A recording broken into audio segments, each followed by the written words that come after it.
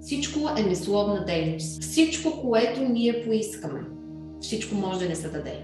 Само, че се иска наистина да вярваш и така ще се наредат нещата, така ще дойде всичко пред тебе, само да го искаш.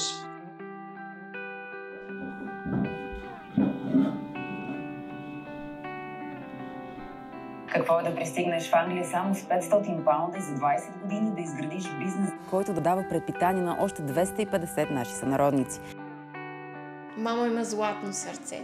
Тя помага на толкова много хора. Толкова се гордея с нея, толкова много я обичам за всичко, което е направила за мен, за цялото ни семейство. Просто мама е един велик човек. Думите не са достатъчни, за да я опиша.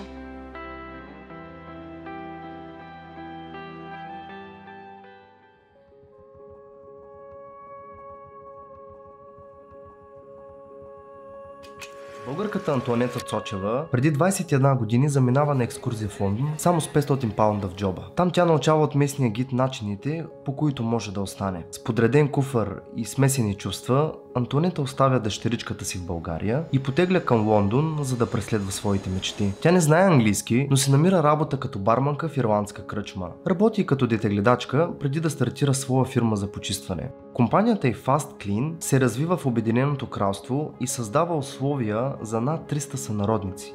Антуанета е успешен предприемач, ментор, инвеститор и автор на няколко книги.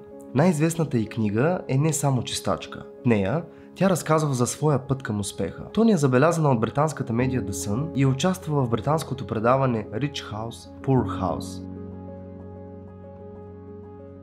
Значи, аз се казвам Антонета Цочева. Родена съм в хубавото градче Карлово. Израснала съм в село Розино. Загубвам баща си и мама има втори брат в село Розино. Израствам там до 13 години с втория си баща, който много обичам, който ми даде сигурност и спокойствие. Ние с брат ми да израснем добре. Той е този, който всъщност ми помогна на 13 годинки да отида в Ловдив и там се записах в руската гимназия. Представете си едно селско момиче, израснало в село и отива през всички вълци, които са на съвсем друго ниво. И оттам започнаха моите борби. Трябваше да се доказвам колко съм силна, как мога с всичко да се справя. Учих непрекъснато по цели нощи и успях да се докажа, че дори да съм от село, израсна в село, успях да стигна до златна значка, да завърша руската гимназия с златна значка. Много труд постигах всичко, дори и като малка много учих. Моите родители никога не, не ми са карали да, да бъда отличничка, но аз трябваше да бъда първа в училище. Просто всичко постигах с много труд. Обичах децата в махалата, събирах ги, непрекъснато се грижих за всички дечица малки около нас. По цяло лято те са били в къщи, аз съм ги хранила, аз съм ги събирала, учила съм ги на песнички, на стихотворения, правили сме представления в нашата махала, в нашото село Розено. И всъщност, може би оттам е започнало и лидерството. Любимият предмет на Тони в училище е химия, а мечтата й била един ден да работи като учител.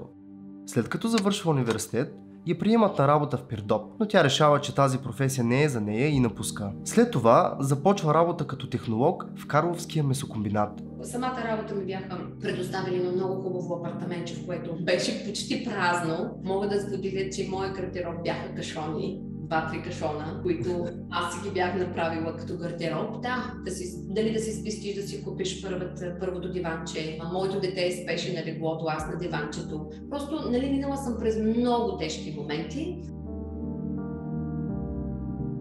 Аз съм минала през този голям бюджет, който съм си правила как да си разпределя 200 лева заплата, за да си плата детската градина, за да си плата тока и да ми останат 50 лева, и детето да ми каже, мамо, искам orange нали, портокал сок и аз да кажа нямам другия месец, но аз не можех да хода на работа, бях потискана, обиждана. Ти спадаш в една среда, в която се потискаш непрекъснато. Аз четях много мотивиращи книги и това нещо ми даваше сила да продължа напред. Иначе няма как. Ако ти не намериш нещичкото в тебе, където да ти дава живот, ти просто си загубен. Просто се загубен. Много плачих, скривала съм се отзад в офисчето, никой да не ме вижда зад вратата, когато дойдат и те обиждат пред целите, пред 15 човека, пред целият ти тим. Те те обиждат и те, и, те, и те слагат на такова ниско ниво. Защото аз имах всички приятели, бяха около мен и казах, ти, ти имаш работа, имаш си квартира, месо комбината в Карлово ти плаща квартирата, къде отиваш, къде отиваш, имаш малко дете. На 13 декември 2000 година Тони оставя дъщеричката си в България и потегля към Лондон, за да преследва своите мечти. Ми мама не ми каза, че заминава за Англия. Предполагам и е било много трудно. Единственото нещо, което си спомням е, че тя дойде до моето училище в Карлово. Аз бях първи клас, бях много малка, нищо не разбирах. Единственото, което си спомням е, че, че ме прегърна и тръгна. Аз а, съм я обвинявала доста в началото. Аз не си го спомням, но тя ми казва, че съм ми пращала много тъжни писма и по телефона много съм я обвинявала. Но сега като се замисля, никога не бих обвинила за това, че ме е оставила. Тя не ме е оставила на чужди хора. Аз бях с баба и дядо, с тате. Те ме гледаха, те ми помагаха в училище. Никога не, обвин... никога не обвинявам мама и никога няма да я обвиня за това, че ме е оставила. Добре, значи заминаваш за Англия с идеята да останеш. И какво ти се случва по пътя? По пътя ми се случва, че се запознавам с много интересни хора. Хора, които също са като мен, също са решили да отидат на малка екскурзия и да останат. Как ще оставаме? Ние нищо не знаем. Значи, аз предполагам, че ще бъда нелегална. Точно така си го представя. И така беше до една-две седмици. Тоест, ти си имаш туристическа виза за два месеца, т.е. ти не си нелегална. Но за тия два месеца ти трябва да решиш как ще останеш в страната. Аз дойдох в Англия да си търся мъж.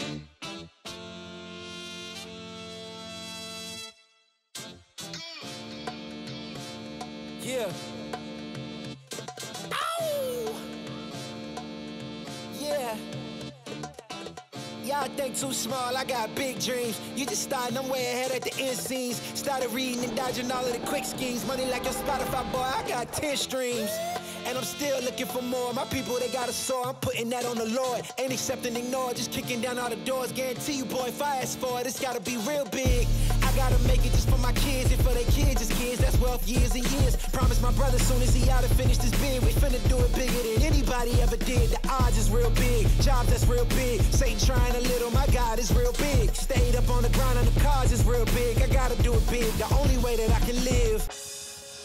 Имахме една българка екскурзоводка, която ни показваше Лондон и тя беше жената, която ни каза как можем да останем в Англия чрез бизнес виза. Значи, т.е. ти си правиш бизнес тук в Англия и така си намираш работа. Аз нямах паричките, за да направиш, за да си отвориш сметка, трябва да имаш парички сметката. Едно момче ми даде парички на за да ги вкарам в банката, за да покажа парички в банковата сметка. Още на втория месец, преди да ми е изтекла туристическата виза, аз вече имах виза за една година, бизнес виза. След тази една година бяха 3 години и след това ти дават виза за постоянна виза и после английския паспорт. Но а колко време, ти, колко време ти отне да направиш този преход от служител към собственик на бизнес? Веднага. Нямаш, веднага, няма, нямаш време за служител, защото ти започваш да работиш за себе си. Това беше единственото нещо, за да почнеш да работиш за себе си, това беше почистването. Нещо най-лесно, когато не знаеш английски. Тоест, ако ти знаеш английски, можеш да започнеш и друг бизнес. Но тогава аз не знаех английски. Това беше най-лесното нещо да започнеш почистваш бизнес. Всъщност имам виза за почистване, да направя бизнес, но все още не бях започнала този бизнес. Българи от Карлово случайно влизат в този пак, в който работя и ми казват, че тя изкарва 8 паунда на час, пък аз изкарвах 3 паунда на час. Това беше едно место, в което аз научих английски. Можех да работя, защото знаех цифрите до 100, знаех знаех дните на седмицата и алкохол е почти еднакъв като наименование, малко само се променя и спокойно нали, можех да работя. Но веднага се ориентирах и към почистване. След като разбрах, направихме първите брошурки и започнах да пускам лифлет такива брошурки малки и си намерих няколко клиента. Та сутринта, нали, след обеда ходих на паба, сутринта пък ходиш на почистване и така първата година беше много трудна. Шест квартири смених, живеех с две момчета, същите, които от самолета ми помогнаха, защото в паба много беше хубава стаечката, но имах посетители гризачи, които ми напопустиха. Не можеш да останеш там по време на зимата. И двете момчета бяха много добри, Иван и Георги, и ме прибраха при тях. И аз шервах, гилях стая с две момчета. Първо беше две момичета, после две момчета, докато се намерих моята съквартиранка и така се преместихме в по-хубав район. И всъщност живота ми започна да се променя вече юни 2001 година. Тогава се вече се поориентирах, имаш вече редовни клиенти, работих в паба и тогава започна да се проявява този интерес към бизнеса. От клиентите на Тони, мистер Айвър, се появява в най-подходящото време. Той забелязал нейните качества и я съветва да чете Financial Times. Също и дава книгата Богат татко, беден татко на Робърт Киосаки. Той ми зададе въпроса. Как искаш да се промениш живота? Колко дълго ще бъдеш чистачка? Колко дълго ще гледаш деца? Ти си завършила и университет, имаш диплома, нали? Трябва да си промениш живота. И аз само така малеко му се изсмях и му викам, ама Айва, аз не знам английски. Как така ще си променя живота? Как така ще започна нещо друго? Тя ми каза така, ако ти не направиш промяната сега, ако ти не започнеш сега да направиш компанията, ти никога няма да я направиш. Така че започваш сега. Аз му споделих, че искам нали, почистваща компания, че виждам, че има търсене. Той вика, му викам, не съм готова, нямам време, аз не знам английски, как ще говоря с тези клиенти. Аз ще ти помагам. Започваш го сега. Това беше момента, в който аз си промених моя живот благодарение на този човек, който ми каза, ти започваш сега, веднага. Започнах да, да си добавям повече клиенти. Аз на, отказвах смените. По една, по две, по три смени, нали? Ти започваш да ги отказваш. Аз освен в паба работих и в един старчески дом, който беше много натоварващо и много депресиращо. И нямах търпение да се откажа. И когато намерих няколко клиента, веднага напуснах първо старческия дом, продължих нали, да си работя в папа и след това повече клиенти и съответно започнах лека по лека да отказвам и папа. На мен много ми липсваше моята дъщеря. Аз си оставих, когато тя беше на 7 годинки, оставих България. И това беше най-трудният момент в живота. Най-трудният момент в живота с риска, че може да я загубя такъв смисъл, че тя след като оставих при моите родители, тя след една седмица избяга при другите баба и дядо. И това беше най-тежкият момент. Аз се представях как загубвам дъщеря си. Аз бях една майка нервна, една неспокойна майка, която аз не исках да тормозя детето си, защото аз имам лични проблеми, нали, да си ги изкарваш на собственото дете. Просто знаех, че трябва да променя себе си и мисълта, че аз ще й създам по-добро бъдеще, това беше моята сила. Просто ти дава сила, че аз трябва да направя нещо, да му помогна на това дете да израсне в много по-добра среда. Един от първите ми клиенти имаха бебенци, току-що родило се бебенци и то се чувстваше много спокойно около мен. И те забелязаха, че детето ме приема много добре, много нормално и започнаха да ме молят да, да го, нали, да го бейбиситвам вечерта, те да излезат и аз да го гледам. Това ми даде нови идеи, как може по-лесно, нали, пак да се, защото те заплащат абсолютно същата сума. Значи, ако гледаш деца, за мен беше много по-приятно, отколкото да чиста. Самата клиентка ми даде много хубави идеи, как да си направя малки брошурки и в училища. И тя ми даде невероятни препоръки, понеже детенството много му обичаше, да си намерих следващото семейство и спрях всъщност почистването и, и станах детогледачка и гледах два-три дена в седмицата гледах дете. Аз, когато започнах бизнеса, не съм имала бизнес план. Даже не знаех какво значи бизнес. Не знаех и как трябва да седнеш и да си ги напишеш какво искаш. Знаеш ли как изчислявах аз? Колко клиента, колко комисиона, колко парички на седмица, нали? Трябва да изкарам, колко парички на месеца, за да изкараш. Но когато телефона започна да звъни непрекъснато, след като пуснахме първия си вебсайт, първия вебсайт пропусна 2003. Значи 2001 2002 не мога да кажа, че имах бизнес. Имах пет момичета на кръс. Всичките клиенти, които ги бях намерила, бяха чрез брошурките, но тези момичета ни бяха запълнени. Те нямаха изцяло нали, запълнена работна седмица чрез мен. Но когато направихме първия вебсайт и този вебсайт беше на First Page от Google само за една нощ и телефона започна да звъни, като луд. Просто аз не, не, не можех да поема всичките тези обаждания. Веднага си казах, добре, аз трябва да нема някой, който да, дигне, да дига телефона тук. Тони реинвестира всичко, обратно в компанията, в реклама, в персонал, в репарати, в обучителни курсове, в хора. Фирмата става една от най-разпознаваемите в почистващия бизнес в Англия, а нейни клиенти продължават да използват услугите и от самото начало. Fast Clean достига до над 300 служители. Всички те са българи, напуснали България да подобрят живота си. Антонета помага на всеки един да се установи в Англия. Всяка година Тони пътува до България, за да прекара лятната вакансия с Даяна. В продължение на 6 години Даяна държи обида на своята майка. Когато става тинейджър обаче, тя сама решава да замине за Англия. Антонета си спомня, че това е много силен и важен момент за нея. Награда за всичките лишения и упорит труд, за да изгради живота, за който е мечтала. В момента Нината дъщеря е създател и управител на дигитална агенция Phone, с която помага на различни бизнеси да се развиват в интернет, включително и тези на своята майка. Антонета и Даяна си обещават никога повече да не се разделят. Най-хубавото време за мен беше когато мама се прибираше в България. Тогава се виждахме само веднъж в годината, защото беше по-трудно, не като сега. Пътуването може да се пребереш дори и за уикенда но тогава се виждахме само веднъж в годината. И какво ли не сме правили? Ходихме на море, при баба и дядо, на разходки. Аз бях много щастлива. И също когато дойдох в Лондон, започнахме да ходим на много екскурзии. Къде ли не сме ходили по света? Аз искам да ти благодаря сърдечно за всичко, което си направила за мене. Ти си един невероятен човек. Едно огромно благодаря за това, че ти сбъдна най-голямата ми мечта. Вече имам дом за моите деца и за моите внуци. Благодаря ти, благодаря ти от сърце. Ти си един невероятен човек. Ти си като майка Тереза. Дано по света да има много хора, такива като тебе. Още веднъж ти благодаря.